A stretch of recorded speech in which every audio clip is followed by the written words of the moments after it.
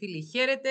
Καλησπέρα. Απόψε είναι Παρασκευή 2 Δεκεμβρίου 2022 και σας προσκαλώ στις 10.30 να έρθετε να δούμε μαζί, να κάνουμε μαζί ένα live, να μιλήσουμε για ευχάριστα πράγματα, να γιορτάσουμε το ότι γίναμε 70.000 συνδρομητές, να σας πω την ιστορία για αυτό το, το, το κολλιέ που με ρωτάτε, Μενταϊόν, πώς το λένε. Πολύ ωραίο το περιδέρεο. Θα σας πω και για το περιδέρεο και γιατί τρόπον την αποτελεί μια ιστορία επιτυχίας το περιδέρεο αυτό.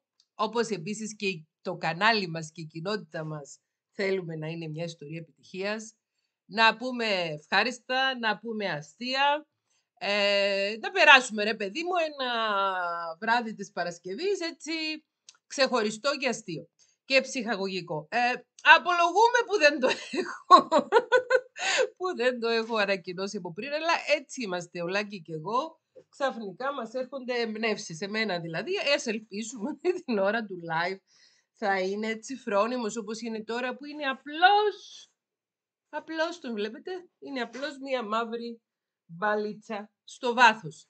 Δεκάμιση λοιπόν, πάμε να κάνουμε live να γιορτάσουμε τα 70, το ότι φτάσαμε τους 70 συνδρομητές στο κανάλι. Να πούμε τα νέα μας, να σας πω για, το, για αυτό το περιδέρεο, το κολλιέ, πώς το λένε. Να ήρθε και το παιδί, έλα να χαιρετήσει τον κόσμο. Ναι, ναι, ναι, ναι. Και είμαστε και σήμερα σορτοί. Βλέπετε ότι το, το περιδέρεο του Λάκη είναι ασορτή με την πλούζα μου.